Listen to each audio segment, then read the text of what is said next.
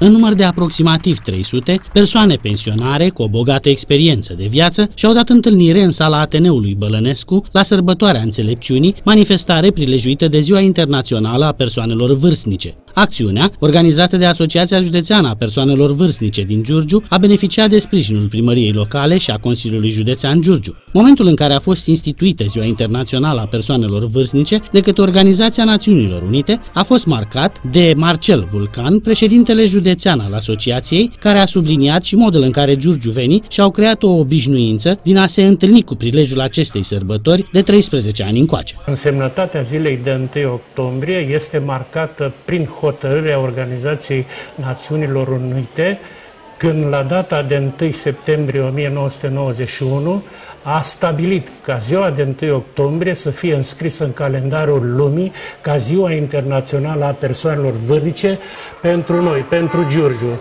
Înseamnă foarte mult. Noi aniversăm această zi importantă din data de 2000, deci de 13 ani consecutiv am avut o asemenea festivitate, o sărbătoare la care Majoritatea pensionarilor din organizația noastră, Asociația Județeană a Pensionarilor, participă cu dragoste la asemenea moment. Prin intermediul președintelui Vulcan s-a prezentat mesajul adresat pensionarilor și vârstnicilor giurgiuveni de către președintele Consiliului Național al Persoanelor Vârstnice, Preda Nedelcu. Acesta fiind un giurgiuvean ce îndeplinește și funcția de președinte al Federației Naționale a Pensionarilor din România, este, după spusele lui Vulcan, unul dintre cei mai mari luptători contemporani pentru apărarea drepturilor pensionarilor din România. S-au mai prezentat mesaje din partea președintelui Consiliului Județean, al Casei Județene de Asigurări de Sănătate și al directorului Casei Județene de Pensii. Partea a doua a acțiunii a conținut un moment artistic susținut de Orchestra de Suflători a Centrului Cultural Ion Vinea din Giurgiu, dirijat de Virgil Pețanca. Din program nu a lipsit piesa Bătrânii Camarazi,